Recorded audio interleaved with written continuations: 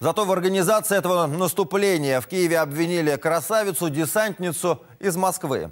Украинские СМИ и чиновники уровня министра обороны и замминистра МВД утверждают, что видели на митингах россиянку Юлию Харламову. Согласно их версии, русская десантница на самом деле шпионка, и это она спровоцировала бунт и лично руководила недовольными солдатами у администрации президента. Правда, в подтверждение этой версии нет ни одной фотографии Юлии в Киеве.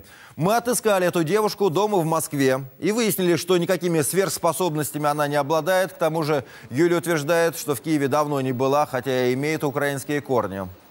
Я просто сама на Украине родилась, в Одессе, поэтому у меня оттуда много знакомых. А- Они, их отправили в зону АТО, э, там им ничего не дали, ни экипировки нормальной, у них броников нету и каски 50-х годов. Э, В итоге вообще совершенно ну, неблагодарно им за это государство.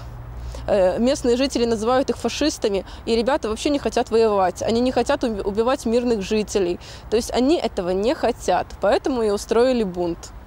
Юля действительно до недавнего времени служила в ВДВ и даже стала своеобразной визитной карточкой этих войск. Ее фотографии в военной форме привлекли множество поклонников в соцсетях. Видимо, оттуда и взяли информацию авторы сообщения об участии Юли в киевских беспорядках.